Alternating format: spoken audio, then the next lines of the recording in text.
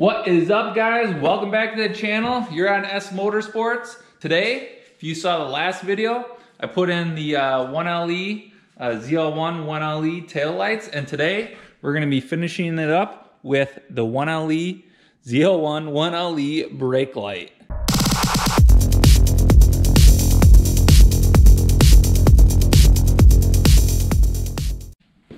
So as you guys can see, we got the taillights if you didn't catch the last episode. But now the only thing that we haven't blacked out basically in the back here is the third brake light, which this should finish up the look.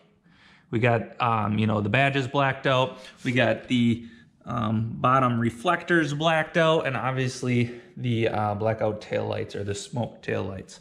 So hopefully this should be pretty easy. The hardest part um, is probably gonna be scraping all the glue off. So I'll show you guys what we're gonna need. All right, so hopefully we're not gonna, you know, need too much. Uh, hair dryer to warm things up. I don't have a heat gun. That's one of the things I need to get. Obviously, the third brake light. Um, can't remember where I got mine from. I'll look and put the link in the description. But um, a, a, little pry tool probably would come in handy. And then uh, I'm going to use some playing cards. Um, I'm going to cut a point on one and hopefully just kind of slice it around um, to remove the adhesive so I can just pull the light out so I don't have to remove all the uh, covers uh, underneath the trunk. So I'm doing it the hopefully quicker way. All right, let's get set up and see how it goes. All right, I warmed it up um, with the hair dryer. I don't have a heat gun, that would have been probably better, but we're gonna see how this goes.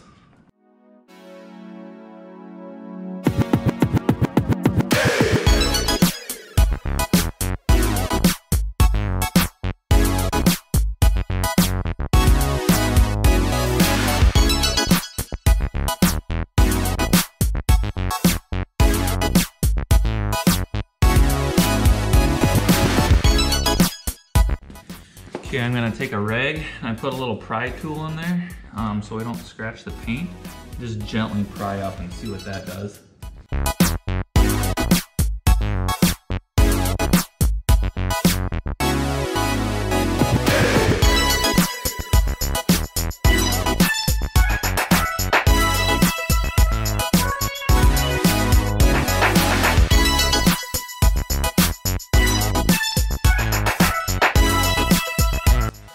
Playing card I'm finding a little flimsy, so I'm trying a Bondo um, guy to see if that that might work better.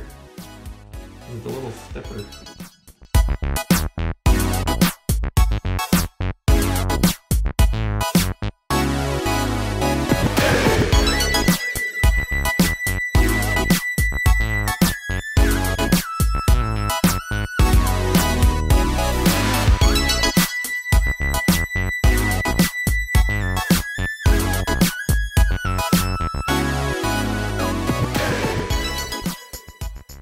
I think this definitely worked better. It probably would even work better if you cut it into a tip, which I did not.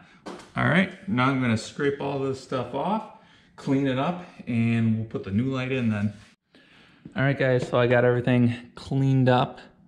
I'll show you what I used, but it was a Goo Gone wipe. It worked pretty good. And then that with uh, my fingernail, uh, that got it off pretty quick. So I cleaned up the area then with uh, some of my waterless wash just to make sure there's no Goo Gone left. But I use these guys. Um, they they're like a little uh, towel, you know, like a Armor All wipe would be. That worked pretty good. Uh, and then cleaned it with that. So as you can see, we got the clear and black versus the red. This is gonna complete the look um, and uh, really make the back end look look mean. All right, not much to it now. We're gonna peel this uh, sticker off first and plug it in and push it and stick it in. Obviously, it's got a little up arrow to make sure you got it in the right direction. So, pretty easy. All right, let's get this plugged in. Really can't screw that up. Up. Okay, we are good to go. And now we just put it in.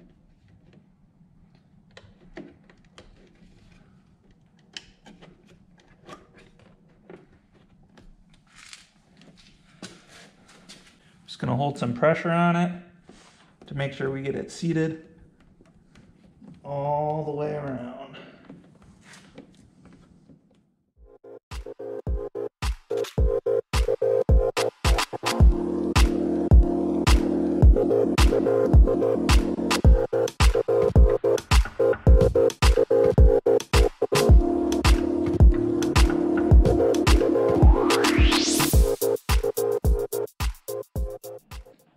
Well, guys, that's it for today. Thanks for joining in. Make sure to hit that subscribe button um, as I'm going to be working on tuning the Camaro some more.